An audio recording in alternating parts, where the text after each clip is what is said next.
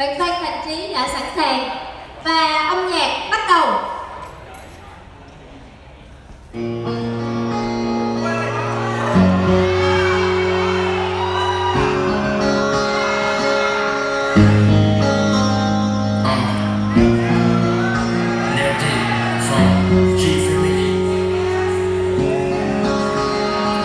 For Love